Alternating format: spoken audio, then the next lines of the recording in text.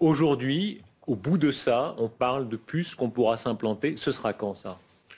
Certainement dans les dix années à venir.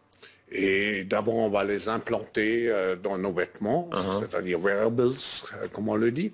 Et après, on pourrait s'imaginer qu'on les implante euh, dans nos cerveaux ou dans nos topos. Et à la fin, peut-être il y a une Aujourd'hui, au bout de ça, on parle de puces qu'on pourra s'implanter. Ce sera quand ça? Certainement dans les dix années à venir. Et Aujourd'hui, au bout de ça, on parle de puces qu'on pourra s'implanter. Ce sera quand ça? Certainement dans les dix années à venir. Et d'abord, on va les implanter euh, dans nos vêtements, implanter euh, dans nos vêtements.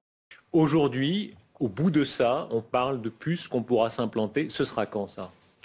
Certainement dans les dix années à venir.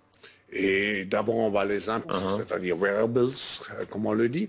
Et après, on pourrait s'imaginer qu'on les implante euh, dans nos cerveaux ou dans nos topos. Et à la fin, peut-être il y a une Aujourd'hui, au bout de ça, on parle de puces qu'on pourra s'implanter. Ce sera quand ça? Certainement dans les dix années à venir. Et d'abord, on va